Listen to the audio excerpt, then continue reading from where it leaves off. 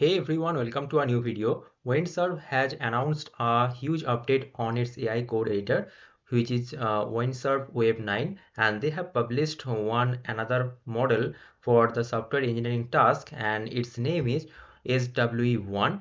They are frontier models built for engineering and uh, not just for code. Okay, so here you see that uh, this is the three models or three variation that they have published: SWE1 light another one is this SWE1 and another one is this SWE1 mini. Okay so if you go to your Windsurf and if you update this Windsurf AI code editor then in this model drop down you will find these two models. Currently it is free so I will fully test this model in this video. So stay with me till the end okay here you see that why they have made this model or why they have announced another model? Because in the market there are many models are there which are performing well. Like uh, OpenAI O3 mini O4 these models are there. Or this Claude 3.7 Sonnet which is the most uh, popular model for coding it is also there. Then why this SWE so there are multiple reasons that they have written First of all, here you see SWE1 optimized for the entire software engineering process, not just the task of coding. So as a software engineer, we daily don't uh, just write the code. Okay, we do multiple things like we do planning, we do uh, execution, we do the debugging if there is any issue. Okay, there are lots of tasks we uh, do before writing the code or in the middle of in the middle of writing the code right so this SWE1 model is actually optimized for that kind of uh, things like end-to-end -end software engineering task. Now, if I show you the details of these three distinct model, first of all, this SWE1 is the full uh, strength model. So they have also written this thing like full strength model for complex task. Okay. So approximately Claude 3.5 Sonnet levels of tool called reasoning while being cheaper to serve. We know that Claude 3.5 Sonnet has a good capability and it can solve solve problem in a more optimized way. But uh, here you see that uh, this SWE1 has a cheaper price than the Claude 3.5 Sonnet. So that's why this is the best model we can use as an alternative to the Claude 3.5 Sonnet and it will be available to all paid, paid users for a promotional period of zero credits per user prompt. So now here you see that in my Windsurf uh, now it is showing free for a limited time. So as a free users uh, you will get this access to this SWE1 uh, for free for a limited time. And in this video we will use this uh, SWE1 model also for our experiments. Okay and next is this SWE1 Lite and a smaller model that replaces Cascade base at a better quality. It is available for unlimited use to all users free or paid. Okay, you may be a free user or you may be a paid user.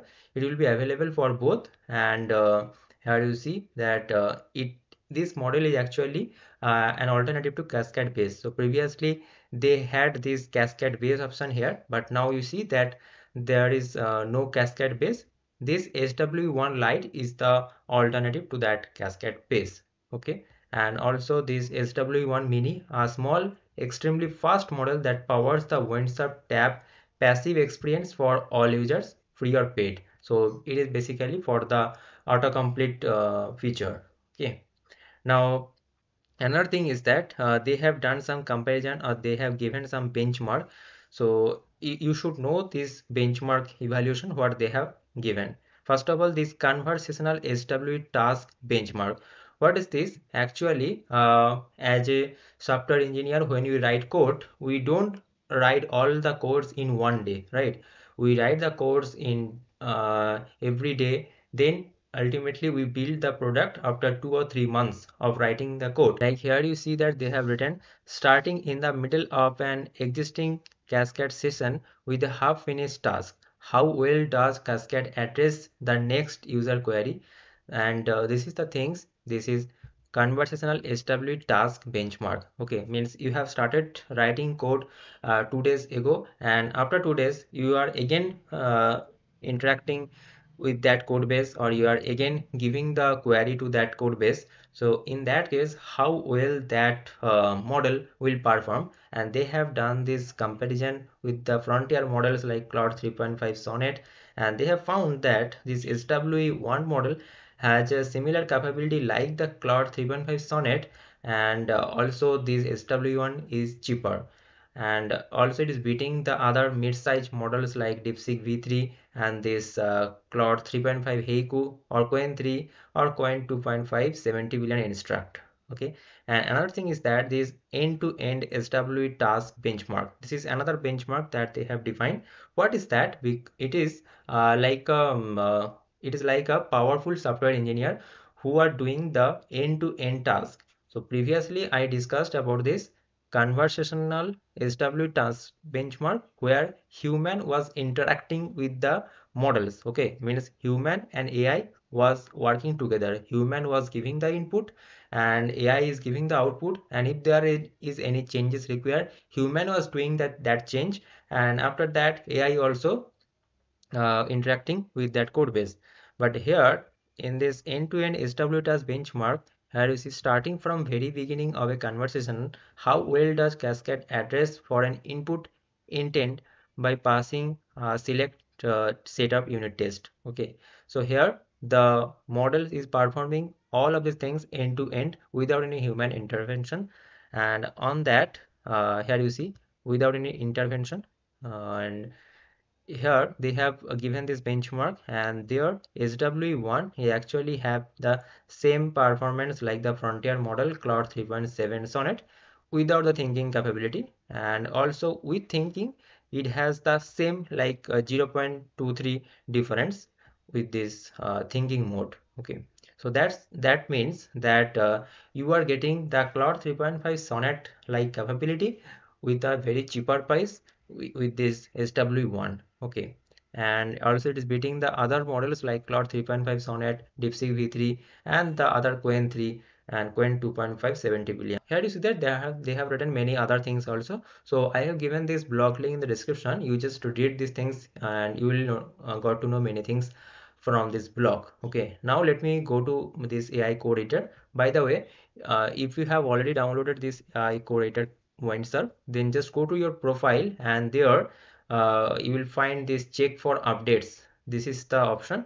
So click on it and after that your you will get the latest updated code editor of this WindSurf now here i will select this swe1 here they have written this this is that it is free for limited time. So i will use it and i will uh, paste my prompt design a threaded discussion forum with upvoting and download downvoting features in html css and js and now press enter and let's see that what it is doing. So here you see that it is pretty fast.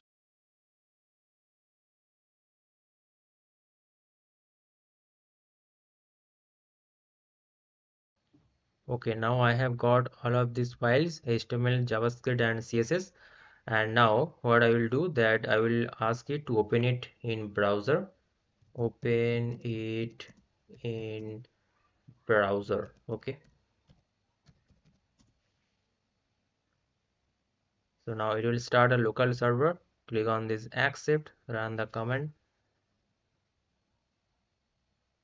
And now it is telling me that I have started a local web server. You can access your forum by opening a web browser and navigating to this http localhost 8000 so let me open my chrome and uh, let me open a new tab and uh, just type this localhost 8000 and now press enter.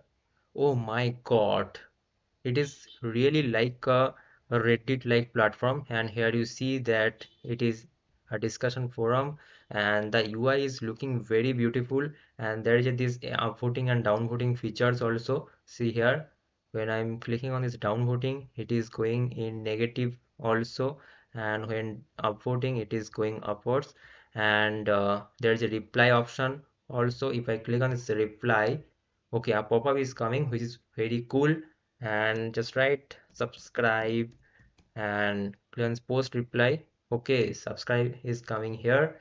And uh, also the date is given here that on which date. And also there is a new thread option for new thread a pop-up is coming title content. Click on this post thread. It is coming here. So the UI is looking very beautiful and also there is a background color for all of these replies which is very cool and overall it is looking very good. And I am very happy with this model with a single prompt. It has given a modern looking output a modern looking web page. So this model is very much beautiful and this model is very much good to me. You also please try it on your Windsurf AI core editor and please let me know that uh, what experience you are getting your thought. Please let me know in the comment section okay? So see you guys in the next video. Thanks for watching. And don't forget to like this video. Don't forget to subscribe this channel. If you want to get this type of videos more daily. And here you see that i have already made or already published many videos regarding this ai code editor ai tools. Don't forget to watch that videos also. So see you guys in the next video. Thanks for watching